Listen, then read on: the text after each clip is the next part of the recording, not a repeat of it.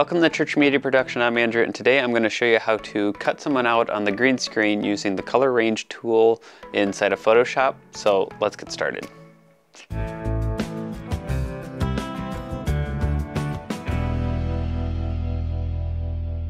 So the first thing you want to do is open up a new composition inside of Photoshop. I'm using CC 2019, but this should work in just about any version of Photoshop.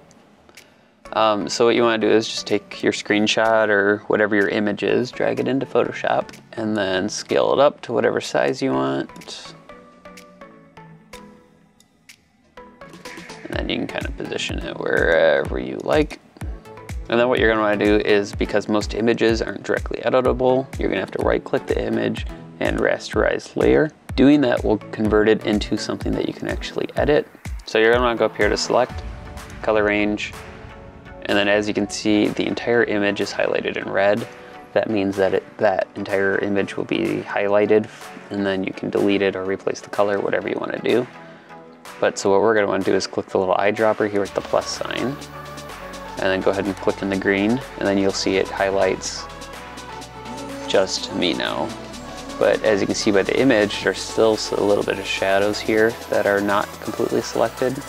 So you're gonna click around in some of the dark slots until that gets solid white. So that means that everything will be deleted.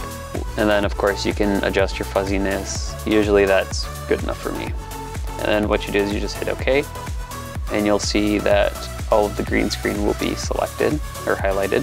And then you can go ahead and hit the delete key to remove the background I usually hit it a couple times just to be safe. And then you can Command D to deselect it. So then if you go ahead and take an image and grab a color, let's do like a gray. Draw our image up. And then you can see I'm now above the gray.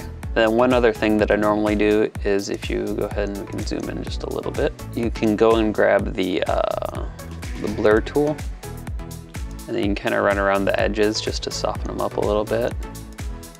This just helps because sometimes depending on how your selection was, it can be a rough selection and we don't want that.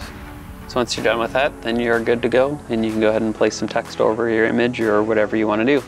Thank you for watching this video. Be sure to hit the like button, leave us a comment, hit the subscribe button followed by the bell icon, and make sure you let us know anything else you want to see us do, and we will see you next time.